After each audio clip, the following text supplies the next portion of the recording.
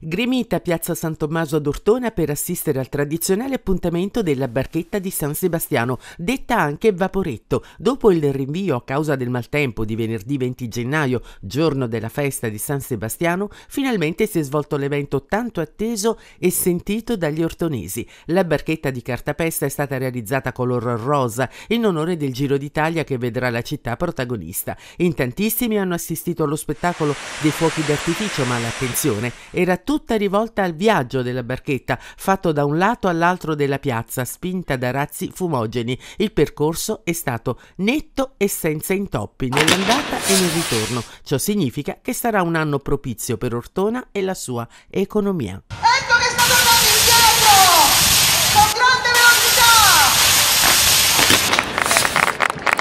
Sindaco, una manifestazione così sentita dagli ortonesi che non poteva mancare.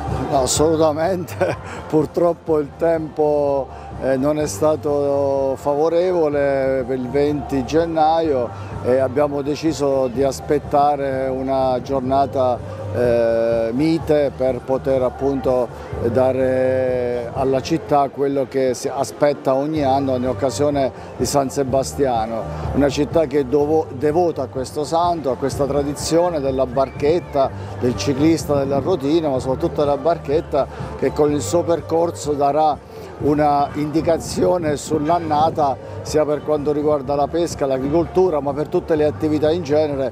E siccome abbiamo tanto bisogno di positività ci affidiamo quest'anno alla Barchetta Rosa anche in, in attesa del Giro d'Italia. Fernando Morelli, presidente del comitato che organizza ad Ortona la cosiddetta Barchetta di San Sebastiano, è un rito diciamo, che risale a diversi anni, come nasce?